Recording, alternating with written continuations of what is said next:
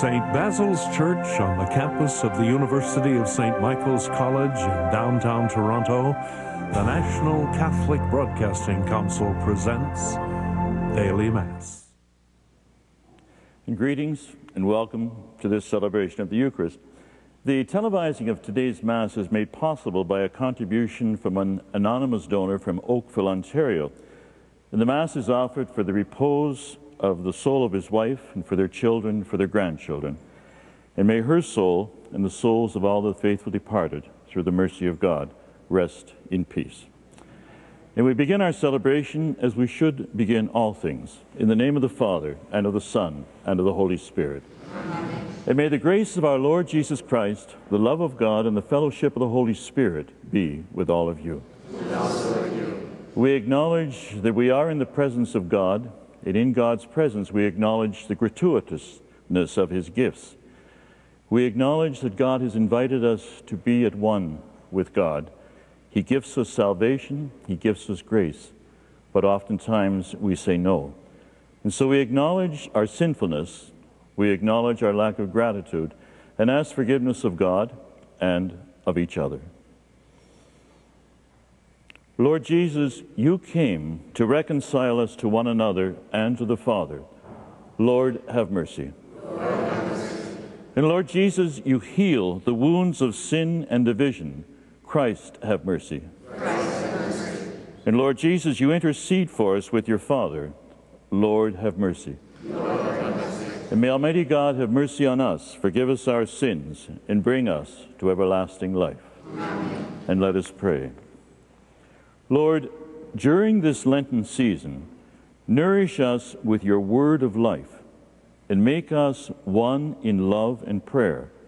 And grant this through our Lord Jesus Christ, your Son, who lives and reigns with you in the Holy Spirit, one God, forever and ever.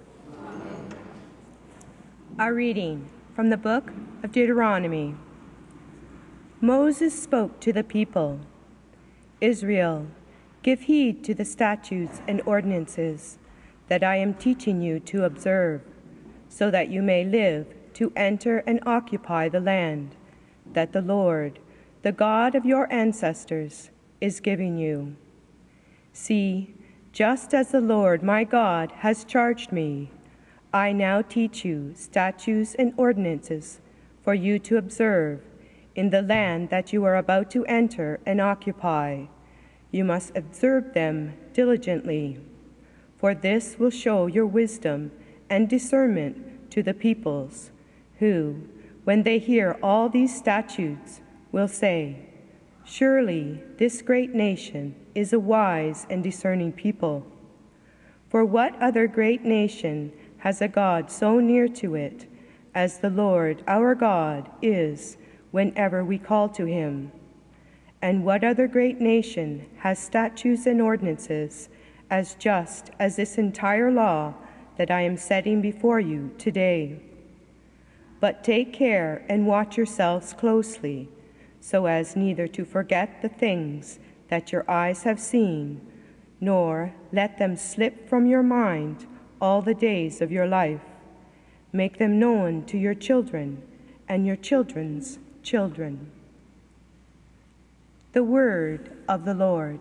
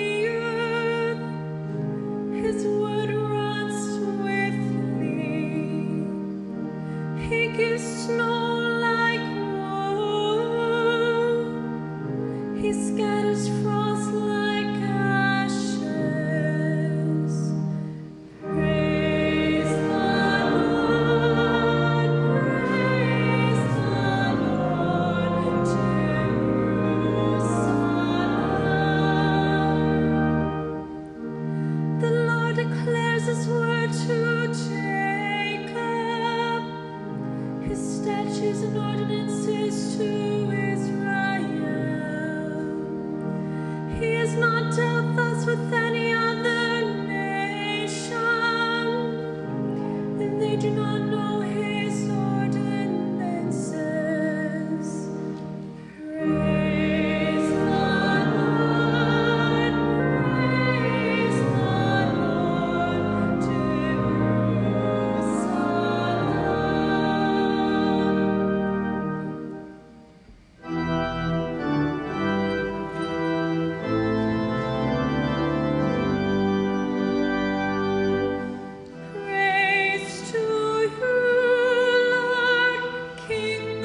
Eternal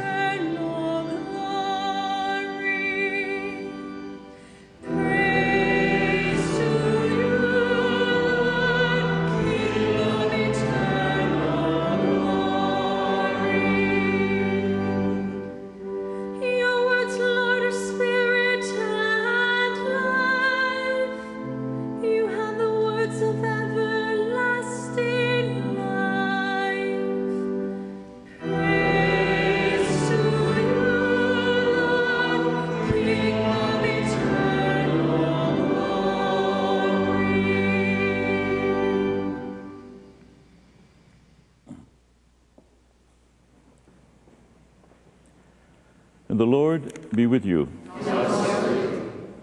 A reading from the Holy Gospel according to Matthew. And Jesus went up the mountain and he began to teach his disciples Do not think that I have come to abolish the law or the prophets. I have come not to abolish, but to fulfill. For truly I tell you, until heaven and earth pass away, not one letter, not one stroke of a letter will pass from the law until all is accomplished. Therefore, whoever breaks one of the least of these commandments and teaches others to do the same will be called least in the kingdom of heaven. But whoever does, does them and teaches them will be called great in the kingdom of heaven. And this is the gospel of the Lord. Praise